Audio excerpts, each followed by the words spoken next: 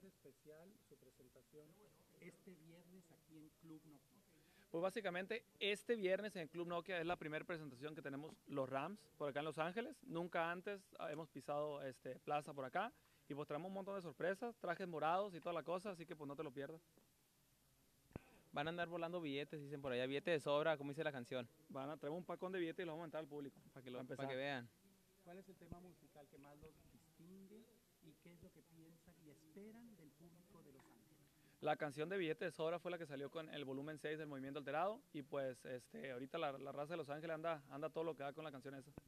¿Cuál es el mercado natural de ustedes? ¿Dónde viven? ¿Y cuál, por qué razón se han hecho famosos? Eh, nuestro mercado natural, somos originalmente por allá de Hermosillo, Sonora. Nos criamos en Phoenix, Arizona. Este, desde, desde chicos hemos andado entre la raza, tocando la malandrinada, la gente que trabaja también, claro que sí. Y por los corridos y los hechos hablan más que, que palabras. Un saludo a todo el público de internet de parte de. Un saludo a todo el público de internet de parte de Los Los Rams. Rams, al cienazo macizo, el movimiento alterado, remangado, zarandeado.